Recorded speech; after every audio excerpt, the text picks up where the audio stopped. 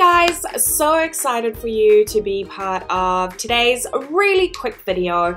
We're doing a super cute um, Fauxbonichi. I wanted to do it in my Happy Planner and I wanted to keep it really simple. So for next year, I'm using my Skinny Calendar Happy Planner, which was from the Rongrong range.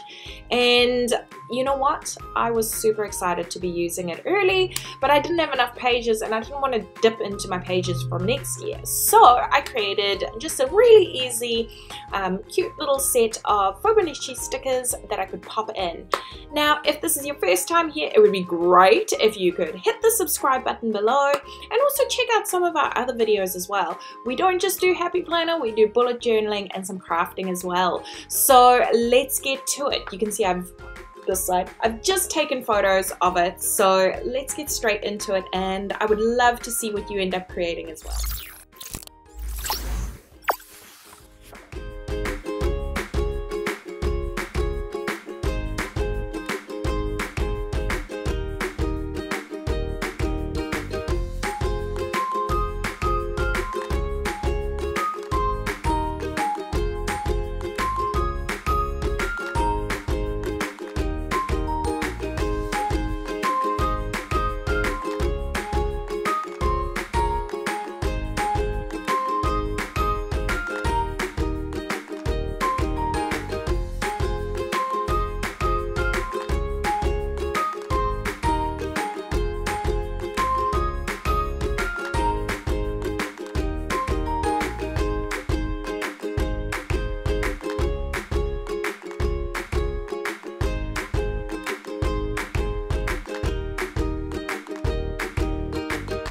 As always, thank you so much for tuning in. Please hit the subscribe button down below. And if you'd like to visit us elsewhere, we are all over Instagram. Come and visit us.